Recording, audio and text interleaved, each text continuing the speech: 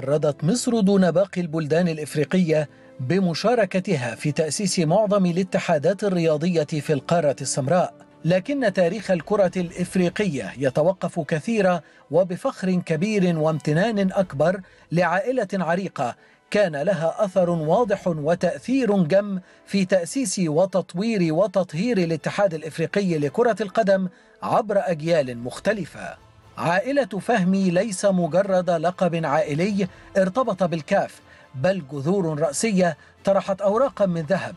بداية من الرائد الكبير مراد فهمي أحد مؤسسي الاتحاد الإفريقي لكرة القدم عام 57 برفقة المصري عبد العزيز عبد الله سالم أول رئيس للكاف وقد كان مراد فهمي لاعبا بالأهلي ثم مديرا للكرة وعضوا بمجلس الإدارة.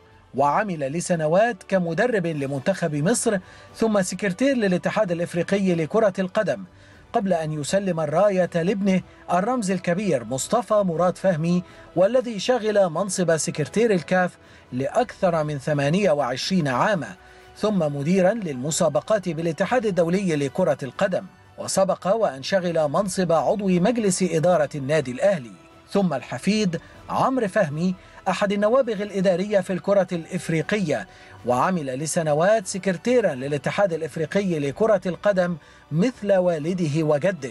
وقد كان حديث كل الأفارقة إبان كشفه لوقائع الفساد داخل الاتحاد الإفريقي لكرة القدم قبل أن يغادر دنيانا تاركا سيرة رائعة لشاب مختلف حارب السرطان والفساد في آن واحد.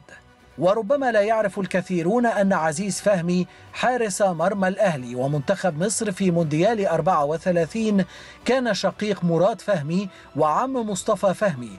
وقد كان حارسا كبيرا وهو أول حارس يحترف بأوروبا عند التحاقه بفريق مونبلييه الفرنسي في ثلاثينيات القرن الماضي.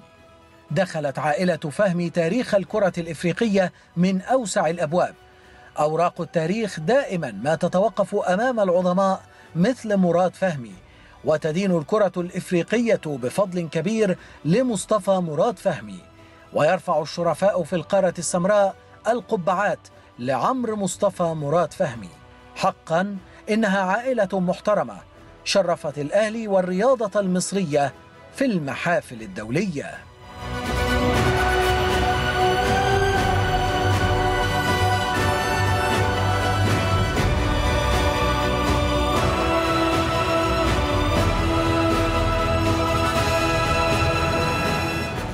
طبعا آه، صور وصور ليها زمن بعيد جدا وصور ذكريات أنا بقول لكل جماهير النادي الأهلي.